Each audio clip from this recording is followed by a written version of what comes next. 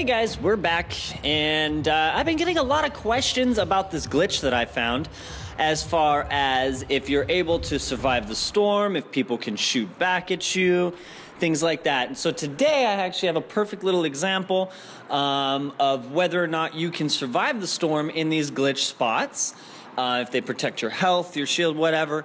And also, um, if you're able to shoot out and to be shot in this specific glitch spot because I know that the one by the bridge was you could shoot someone, but you they could not shoot you back. So wanted to test this out on this one and kind of just see how far I could go. But yeah, so far it looks like it's mainly within these like I guess you could say like stone steps um, that are around the map naturally. So I don't know um, if there's other ones. I'm gonna keep searching and try to find more. But either way, guys, thank you for so much love on, on the glitch video. I mean, it's amazing.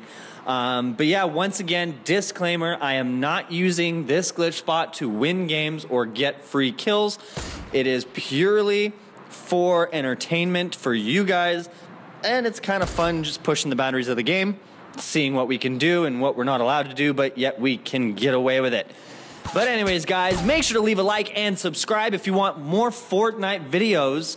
Uh, and if you want to see some other stuff, I mean, we still got Rocket League, we still got Black Ops and everything else.